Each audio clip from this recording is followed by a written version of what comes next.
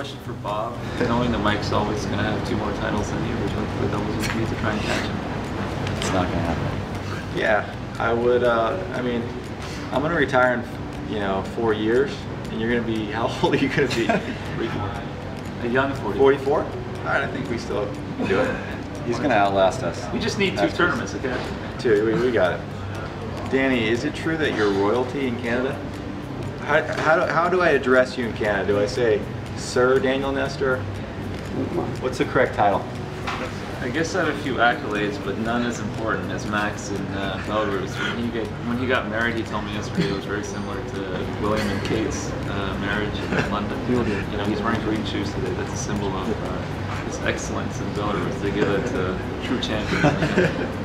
Yeah, Mikey. Well, besides all your uh, wins and, and losses on tour, all the successes that you've achieved, uh, you're becoming a family man soon. Can you maybe share a little bit of uh, anticipation where you're going into? And uh, you're probably going to be having kids soon too, just to catch up to Bob. So, what are your thoughts on that? Yeah, man, I'm uh, I'm excited. Uh, it's about 20 days away, and I'm, I feel the tick tock.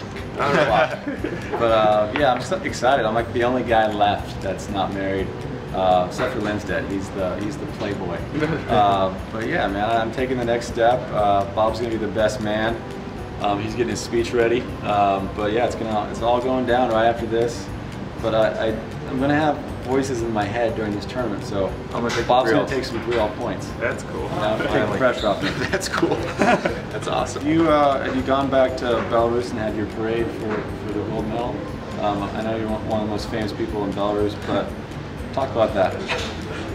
Um, well, fortunately, I've been so committed this year uh, uh, to uh, straight after my gold win uh, at the London Olympics, I've uh, traveled to Toronto. So all of my celebrations were presented to me in Toronto, and I was able to share that with my partner. And thanks to the tournament director of the Rogers Cup, uh, Karl, who put on a great show and uh, made me feel like an Olympic champion. Awesome.